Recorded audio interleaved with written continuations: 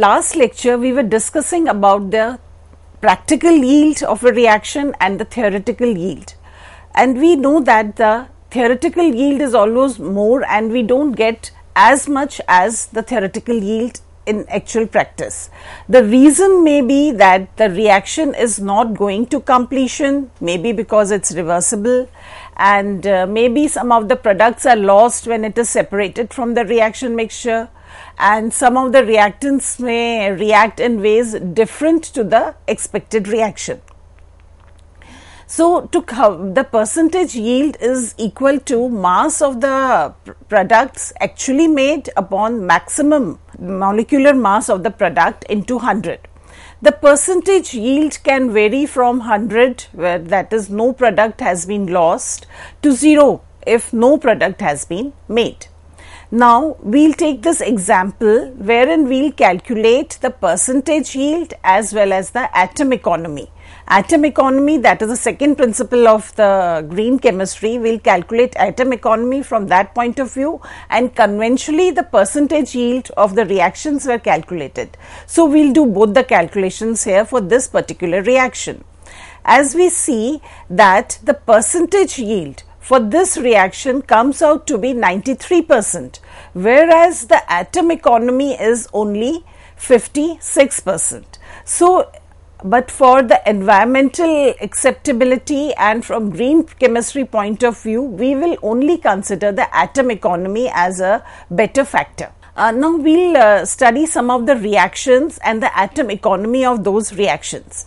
For rearrangement reactions, these reactions they involve rearrangement of atoms to make up a molecule that is the rearrangement of the atoms of the reactants to get the products. So, in Claisen uh, rearrangement reaction the allyl phenyl ether it undergoes rearrangement to form orthoallyl phenol.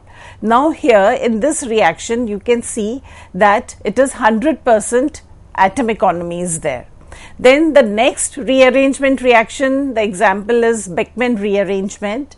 The rearrangement of oximes is taking place and from this oxime benzanilide is being obtained. Again for this reaction the atom economy is 100 percent. For addition reactions, a typical example of addition reaction is uh, propene uh, bromine molecule being added to propene to get the desired product. In this case also whole of the reactant that is pro propene and the reagent bromine are incorporated into the final product which is 1,2-dibromopropane. So, this reaction is also 100 percent atom economy is 100 percent that is no atom wastage is happening here. Another example of addition reaction is the catalytic reduction of propene. Here propene is uh, addition of hydrogen is taking place and we get propane. So, this reaction is also 100 percent atom economical since whole of the propene and hydrogen are incorporated into the final product. Nickel in this reaction is used as a catalyst and we know that it can be recovered back and not used. In a similar way, cycloaddition reactions also we can study that is addition reaction of butadiene and ethene to give cyclohexene. This is uh, Diels-Alder reaction and again this is a 100 percent atom economical reaction. Here we have I have put in some more examples of reactions which are addition reactions and these reactions are also 100 percent atom economy. For substitution reactions, the reaction in which one or more atom or group of compounds are substituted by other atoms or groups are known as substitution reactions. So, an example here is where ethyl propionate will react with methylamine to give the product. Now, here we will see that the atom economy is not 100 percent, but it would be different. For the above reaction, in the this reaction, OC2H5 group of the starting material from ethyl propionate and one hydrogen atom of the amine are not incorporated in the final product. So, based on the calculation, the atom economy for this reaction comes out to be 65.4 percent. Again, elimination reactions are there. In these reactions, two atoms or maybe group of atoms are lost from the reaction to form a pi bond. And we can study the that uh, we can see that the atom economy is not 100% here for this reaction that is for Hofmann Hofmann uh, degradation reaction it comes out to be 35%. Uh, for photo induced organic reactions, the atom economy is slightly better. This is example of a photolytic uh, reaction. Uh, the atom economy is slightly better here. Again, another example of uh, photolytic reaction wherein the atom economy is better. So, after atom economy, we come to the third principle of green chemistry that is less hazardous chemical synthesis whenever practicable, whenever practicable, synthetic methodology should be designed to use and generate substances that possess little or no toxicity to human health and the environment. For the poly, the example we can uh, see here is that the polycarbonate synthesis, there are two ways by which this can be synthesized. One is known as the phosgene process and the other is solid state process. In the phosgene process, the disadvantages are that phosgene is highly toxic and a corrosive gas. It was used in World War One. Then it requires large amount of CH2Cl2. Polycarbonate contaminated with chlorine impurity is produced. So, these are the disadvantages of using the phosgene process. So, the better process for getting the polycarbonate synthesis is solid state process. In this process, diphenyl carbonates is synthesized without phosgene. It eliminates the use of CH2Cl2 and the higher quality of polycarbonates is formed. So, we can say that the chemists have to work continuously and keep on innovating better uh, synthesis synthetic methods or they have to work up for the synthesis so that less hazardous chemicals are used. In this uh, slide, we can see a lady wearing a tights, then there are certain paints kept and there's a window pane made of plastic. So, the uh, for all these three things we can say that for the tights it is made from nylon. For the paints polyurethane is used. And for pvc uh, plasticizer is used for the plastic window paints.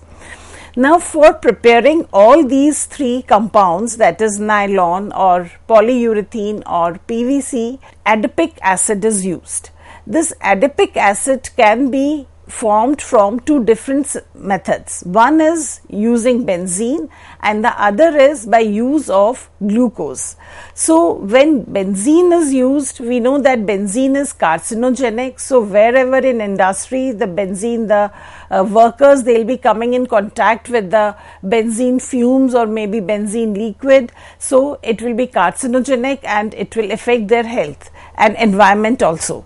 So, the other synthesis that is adipic acid when it is formed from glucose, this is a better process and here uh, it, it doesn't harm the workers or those working in the industry to prepare adipic acid. So, we can say that green chemists aim at a reaction in such a way that the desired or the useful product obtained does not pose any health hazard to humans even the byproducts, if formed, should not be harmful to the environment or to humans. The procedure or mechanism should involve chemicals which are preferably not harmful or else less harmful. Waste or uh, byproducts should be avoided in totality and if formed, disposal should be planned beforehand. There are many multi-step reactions but for every step it should be planned in a way that no toxic chemicals are produced and if very necessary then it should be very less. So again we can say that chemists have to continuously keep on evolving and being innovative. After this we come to the fourth principle of uh, green chemistry that is designing safer chemicals. The fourth principle of green chemistry, that is designing uh, safer chemicals, it might sound like a paradox to many people. The, the very concept of safe chemicals is not exactly comic- common. Usually, all chemicals are depicted as toxic substances. You, you, must have seen that sometimes soaps or shampoos they are advertised advertised and it says that they are chemical free. So that is not possible. The word chemicals is used misleadingly in our everyday lives because chemicals are uh, literally everything around us as chemicals. Every substance has chemicals. That is, if it is made up of matter, it has some chemical. This makes consumer labels claiming to be chemical chemical free totally meaningless. Uh, if used properly, chemical free products would be completely empty. With this in mind, Principle 4, that is designing safer chemicals, is a reminder to chemists that it is our responsibility to design all chemicals to not only be efficient at their given purpose, but also to reduce their toxicity by design. Reducing uh, toxicity is a constant priority in chemistry. The challenge comes in knowing what makes a molecule toxic. When it comes to molecules that have never been made before, the challenge becomes even bigger and it is a bigger concern. The field of toxicology allows us to either predict or test for a molecule's toxicity, making partnerships between chemists and toxicologists incredibly important. Many green chemistry educators are also pushing towards uh, including a working knowledge of basic toxicology into undergraduate chemistry degree to train all future chemists to consider this and a great example of how a chemical's toxicity can be reduced by rethinking its design. This, uh, the example we can take here is of uh, Solberg company, which produced a f- uh, firefighting foam. The initially the firefighting foams which were used, they had fluorosurfactants in them. The fluorosurfactants were present in the firefighting foams which were used. But these fluorosurfactants they are environmentally persistent they are bioaccumulative and they are toxic so the Solberg company they came up with a new firefighting foam which was non-fluorosurfactant based. It had certain sugars in it and it had certain other additives and this was a big breakthrough in the field of great uh, green chemistry and the presidential green chemistry challenge award was in uh, given to this Solberg company in 2014 for their uh, innovation. So this new fire for fighting foam, this works just as well as the previous foam and yet it does not have the negative impacts. These are non-fluorosurfactants and they work equally good. They have some uh, sugar molecules and certain additives. These are non-bioaccumulative and nor is environmental persistence there and this innovation by Solberg company is totally non-toxic. So the challenge is to minimize toxicity while maintaining the function and efficiency. The goal can be achieved by understanding not only chemistry but also principles of toxicology and environmental science. To pronounce a chemical safe, a thorough knowledge of how chemicals would act in our body and environment is required. Because without this knowledge that how this is going to affect the body or which organ it is going to affect this challenge cannot be met. The growing understanding of uh, toxicity puts the responsibility on the synthetic chemists to avoid making such molecules which fall in the danger areas that is are uh, toxic to humans and environment. If the mechanistic information of how the molecule will interact with human body and with environment is available, then designing a drug while maintaining the effi- efficacy and minimizing the hazard will be possible.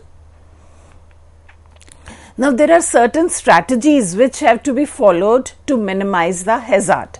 The first is structure activity relationship, then mechanism of action, then to reduce the bioavailability and finally design for innocuous fate. We'll discuss these uh, strategies one by one.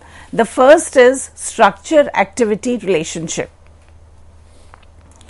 Uh, the design of safer chemicals is a process where the chemical structure of the molecule is analyzed thoroughly to identify which part of the molecule is responsible for the desired property and which part of the molecule is responsible for toxicity or maybe hazard.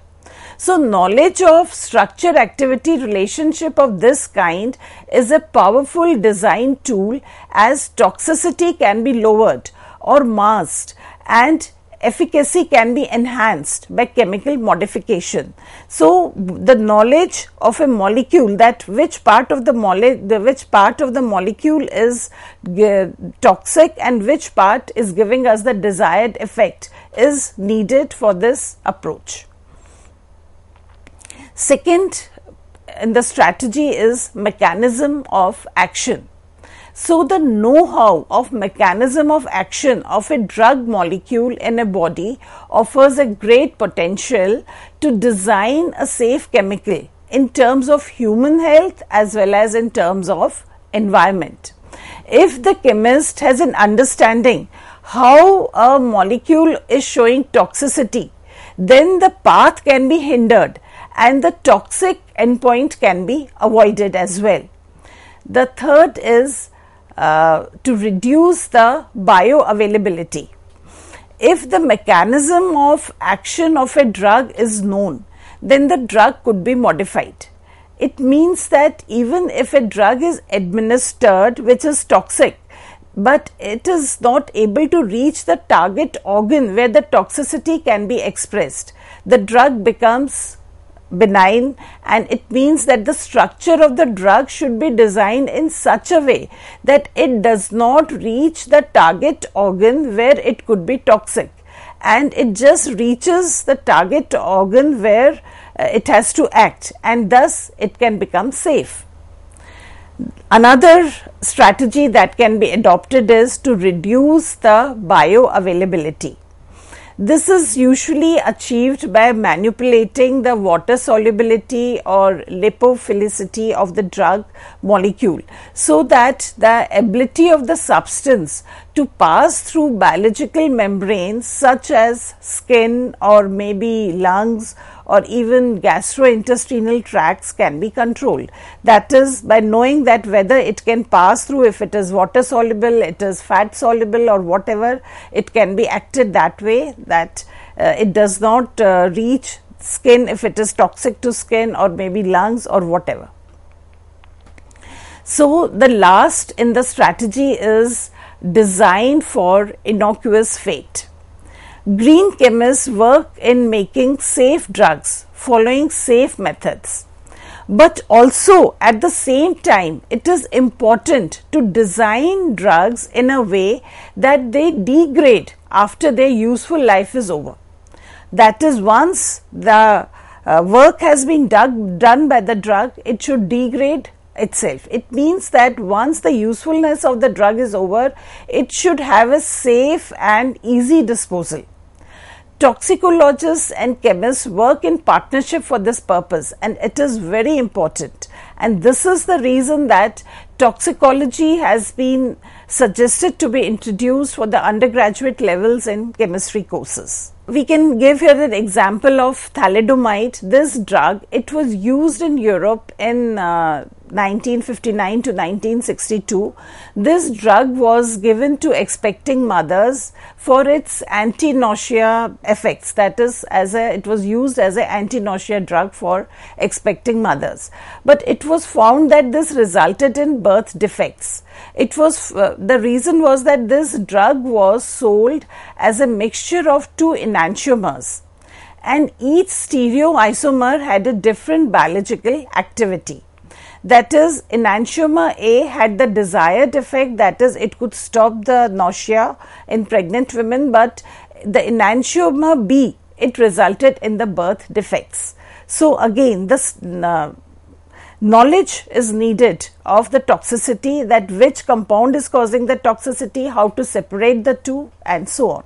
There's another term that we must know uh, in this uh, principle, and that is tolerable daily intake.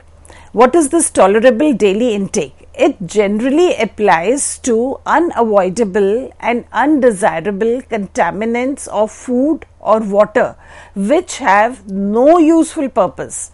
This signifies permissibility rather than acceptability. This TDI, this is an estimate of the amount of a substance in maybe air or food or drinking water that can be taken in uh, daily over a lifetime without appreciable health risk. TDIs are calculated on the basis of uh, laboratory toxicity data to which uncertainty factors are applied.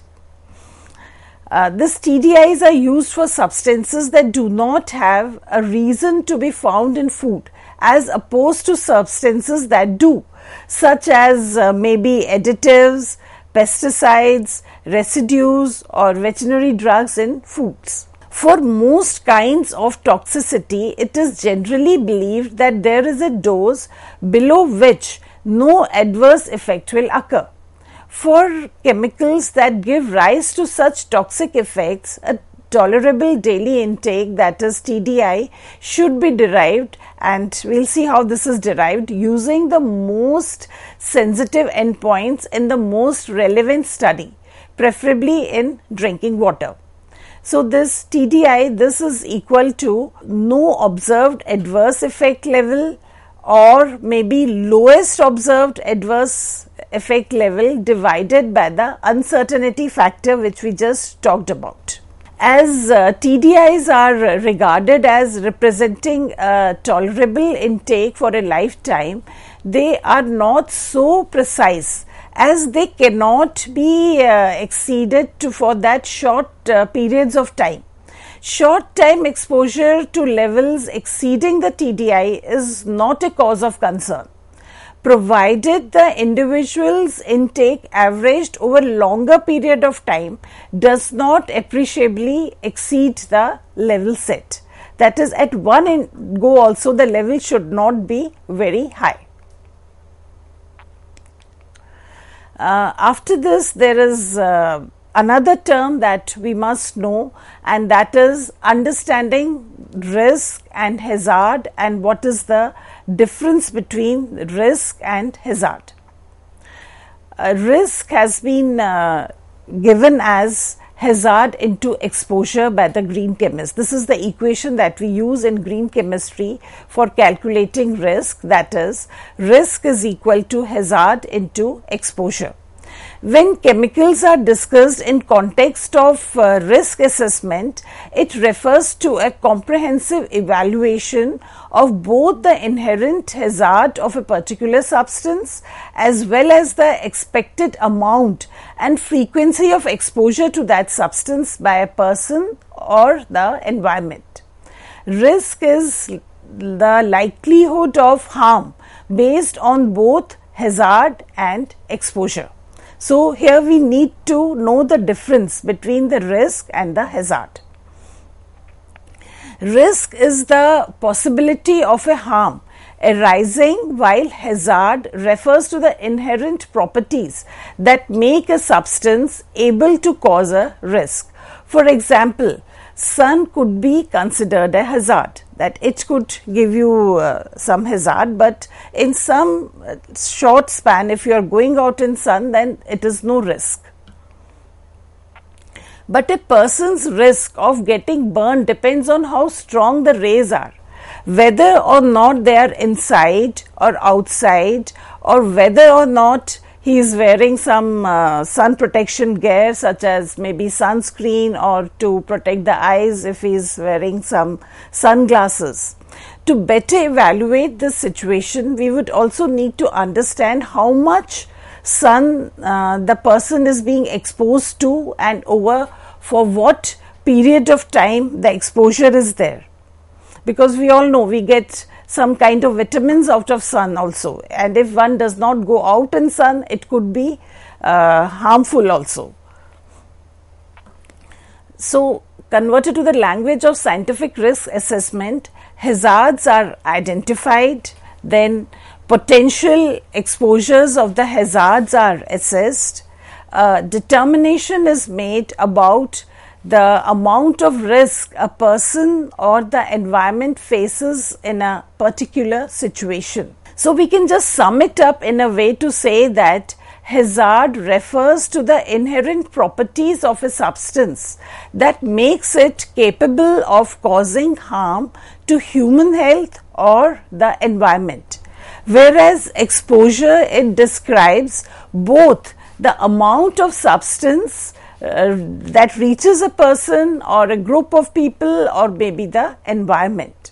So, risk is the possibility of harmful event arising from exposure to a chemical or a physical agent, for example, under some specific conditions. So, there are actually hazards all around us, but a hazard does not become a risk unless you are exposed to it.